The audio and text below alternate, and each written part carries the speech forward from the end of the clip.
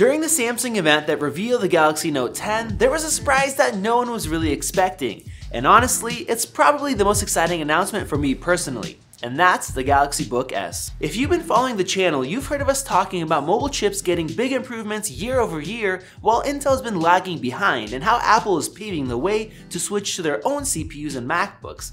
Well, now it's officially here, but Samsung beat them to the market with an ARM chip designed for a full OS instead of just being repurposed. And to be honest, it could give a lot of thin laptops, including MacBook Airs, a run for their money. Before we dive into performance and special features, along with one big disappointment, let's talk about the exterior. The laptop has a very simple design, which is a good thing, but it also has a curve by the hinge, which I think is a nice addition. The top and bottom look to be aluminum, but I'm uncertain about the palm rests.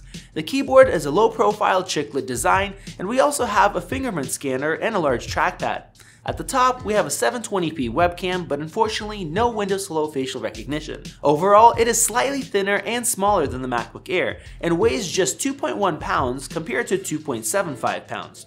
That may not sound like a big difference on paper, but if you remember the 12 inch Retina MacBook, which was 2 pounds, that felt much lighter than the MacBook Air. But of course, that only had one port and really poor performance with thermal throttling. The Galaxy Book S will be much faster with a larger display and just slightly heavier. On the sides, we thankfully still have a headphone jack unlike the Note 10, and two USB Type-C ports which seem to be USB 3.1 Gen 2 for up to 1250 megabytes per second bandwidth, and they can also support two 4K displays.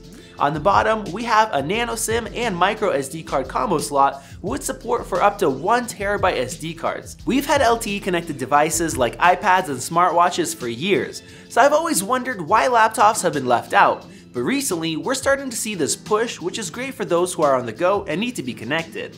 On the inside, we have a 42 watt hour battery, which is smaller than the MacBook Air's 50, but the battery life is rated at a massive 23 hours of video playback compared to 13 hours on the Air. Of course, these numbers are usually overrated compared to the real world since brightness is usually turned down as well as other things but even if it is within the 18 hour range, it will be very impressive. And I do think that's possible since at the heart of this machine, we have the Snapdragon 8CX, which is a 7 watt chip. The i5 in the Air is a dual core model where the 8CX is an 8 core using 4 powerful cores and 4 power efficiency cores. During the reveal of the 8CX, Qualcomm compared it to an 8th gen 1.6 GHz quad core i5 that's available in many current Windows laptops and said that it was slightly faster while using much less power. Of course, we will be doing a bunch of tests when we get the Galaxy Book S in. By the way, make sure to subscribe so you guys don't miss out on that. But at this time, there is very little performance info on the CPU and even less on the graphics. We do have some numbers from PCMark, which you guys can see right here, and we also found some tests for the MacBook Air.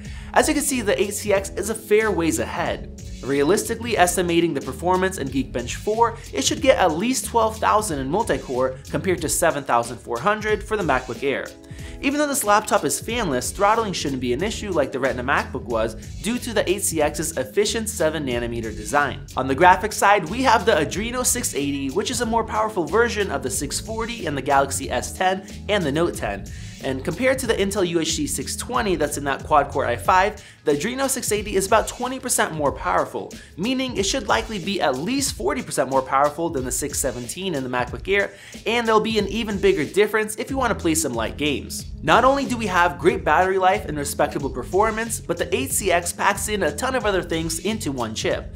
We have the same amazing X24 modem that's in the Galaxy S10 Plus and Note 10, which gave me much better speeds and reception than my iPhone XS Max, and along with that we have the latest Wi-Fi chips and Bluetooth 5. One big benefit of using an ARM chip is the built-in hardware designed for specific tasks. For example, we have native H.265 and VP9 decoding and encoding, and it can even handle up to 4K 120 frames per second.